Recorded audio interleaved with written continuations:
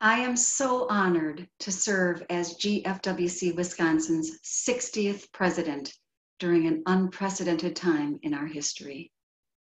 Together, we will overcome challenges and persevere. During our virtual state convention, we had the honor of having GFWC past international president Mary Ellen Brock conduct our installation ceremony.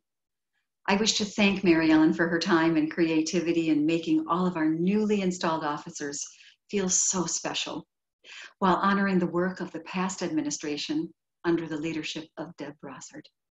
Thank you all. Throughout my term as state president, I have chosen mind, body, and spirit as my theme. My administration's lapel pin was designed to promote the importance of being well balanced. And the symbol of the butterfly has a spiritual meaning of rebirth, change, and transformation. I'd like to share a few words about how I came up with the theme of mind, body, and spirit. To quote the great Deepak Chopra, when mind, body, and spirit are in harmony, happiness is the natural result. Let's face it, everyone is in search of happiness. Who doesn't want to be happy? The good news is that happiness can be learned. I found that the more I volunteered to help others in need, the better I felt. And that is exactly what GFWC Club Women do. Our mission is to make our world a better place through volunteer service. I don't know about you, but when I give of time and talent, especially when it comes to my music, I receive back tenfold.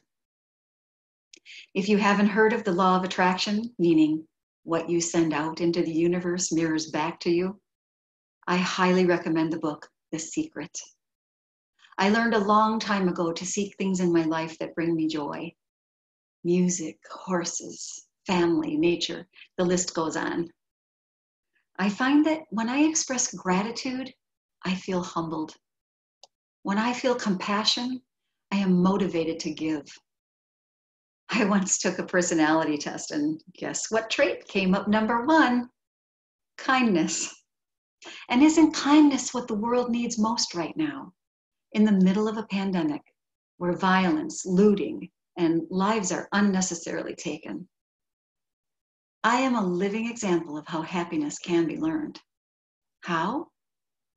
By being less selfish, learning and sharing good fortune with those less fortunate, thinking of others, even doing small things for others like opening a door or letting someone go in front of you at the checkout line.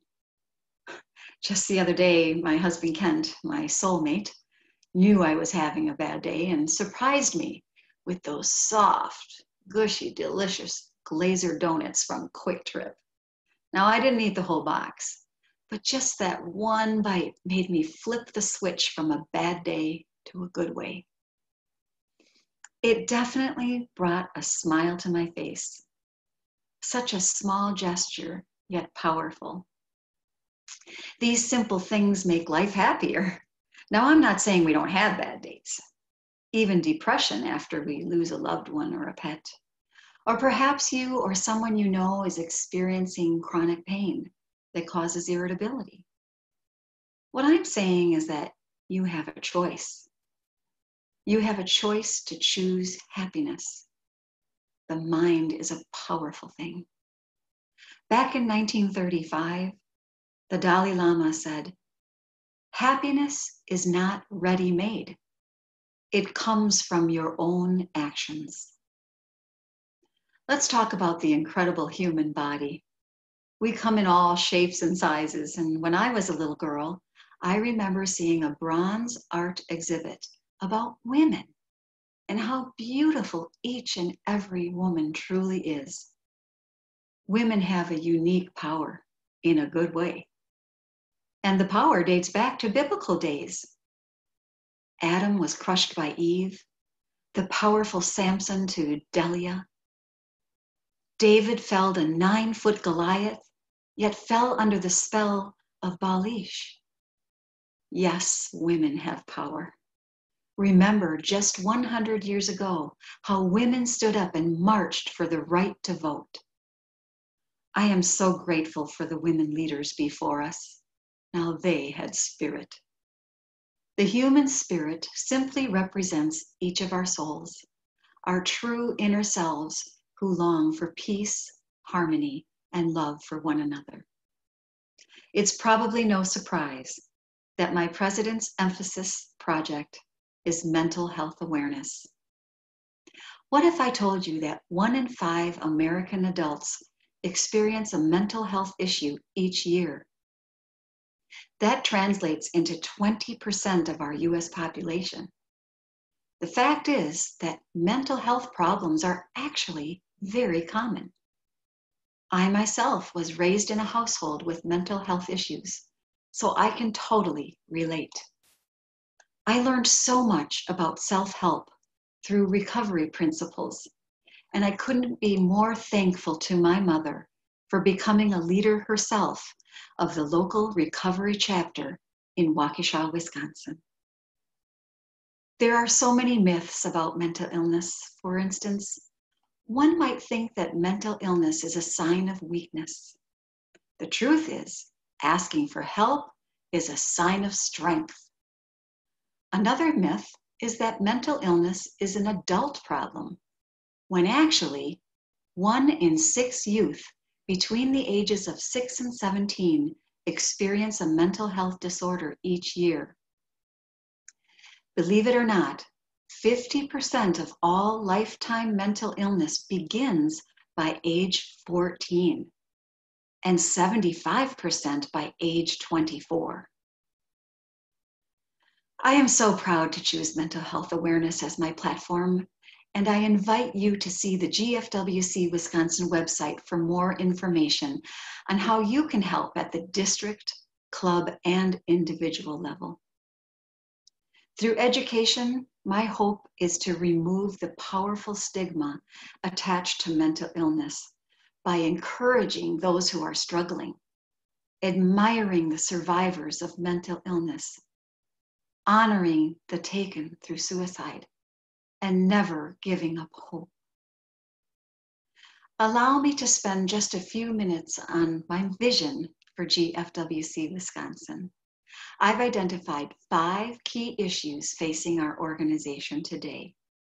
Many of you will relate and say, yes, we need to address that in our own club.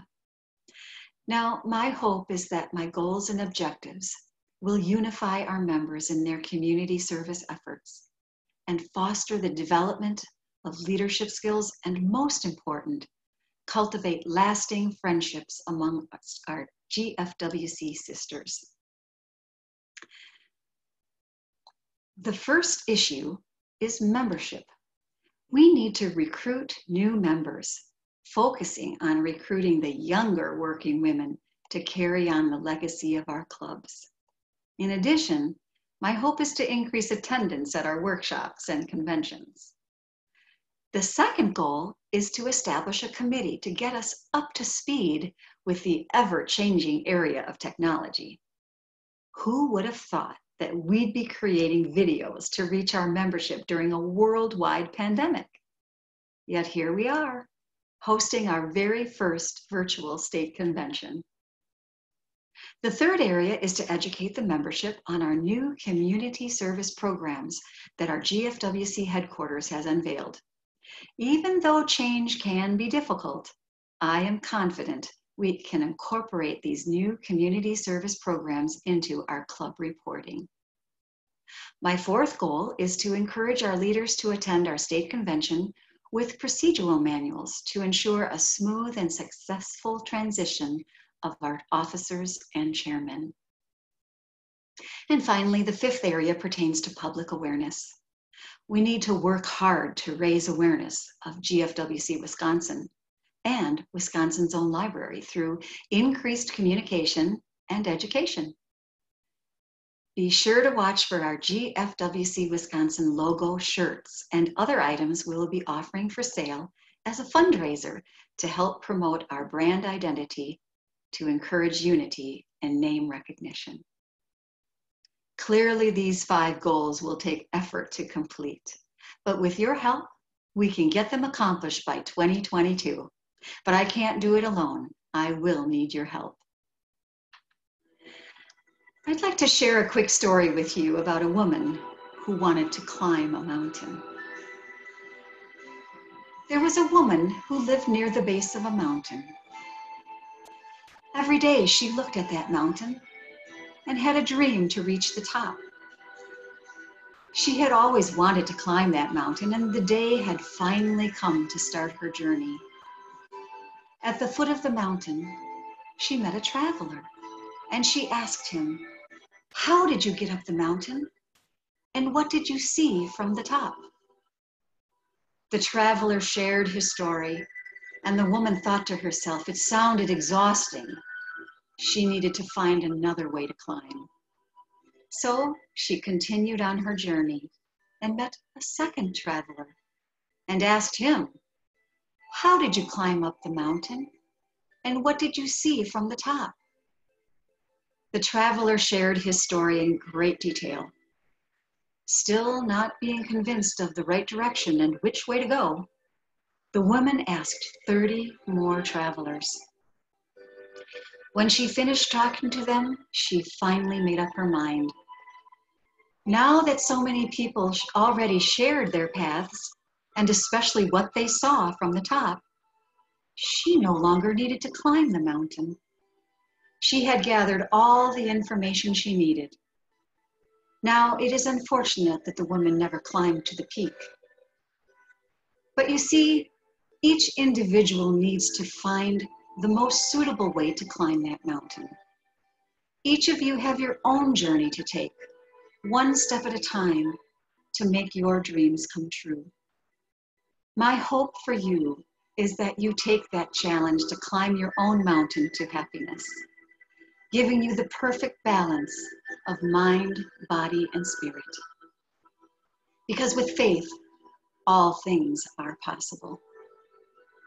Many people have searched for how to achieve a more happy and fulfilled life.